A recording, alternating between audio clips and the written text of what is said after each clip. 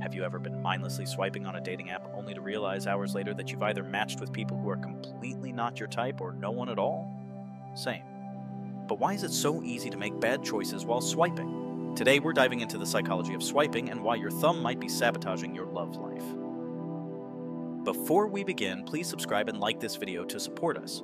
So let's start with why we can't seem to stop swiping. Turns out dating apps are designed to be addictive.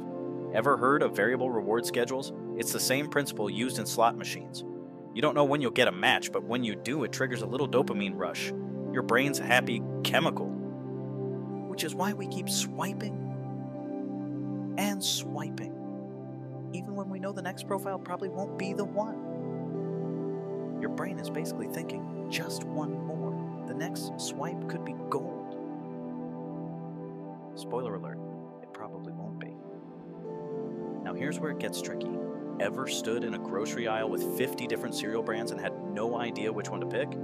That's choice overload, and it happens on dating apps too. When we're faced with too many options, it actually makes decision making harder. We either get super picky, or we just make random choices because it's mentally exhausting. That's why you might swipe left on someone amazing or right on someone who doesn't match your interests at all. And let's talk about the halo effect. Basically, if someone looks really attractive, our brain automatically assumes they have all these other great qualities, even though we know nothing about them. Yep, that's how we end up matching with the person who's perfect on paper, or rather in pixels, but turns out to be a total mismatch once you actually talk. Our brains are tricked into thinking, oh, they're hot. They must be nice, smart, and love dogs. But all you get is a cute face and radio silence. Now, here's a fun one loss aversion. Ever keep swiping because you're afraid of missing out on someone better? You match with someone cool, but your brain whispers, What if there's someone even better just a few swipes away? This is classic FOMO, fear of missing out. It makes you second guess your choices and sometimes not choose anyone at all. We swipe and swipe and swipe, hoping for that perfect match, but let's be real. No one is perfect. Except maybe my dog. Ever swipe right on someone and then immediately think, wait, why did I do that?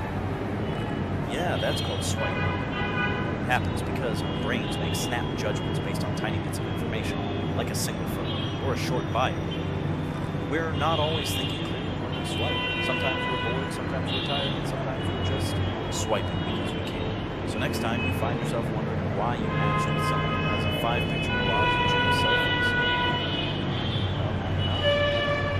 Alright, so now that we know why we make bad choices on dating apps, how do we fix it? Let's keep it simple. 1. Take your time. Don't rush through profiles like it's a race. 2. Limit your swipes. Don't overload yourself with too many options at once. 3. Avoid swiping when you're tired or bored. You're more likely to make impulsive decisions. 4. Focus on more than just looks. It's tempting to go with the most attractive profile, but read those bios, people. So next time you're swiping, remember that your brain is trying to mess with you but now you're one step ahead. Have you ever made a bad swipe and regretted it? Let me know in the comments below. I'd love to hear your stories. And don't forget to like, subscribe, and hit that notification bell for more relationship tips and dating insights. See you next time.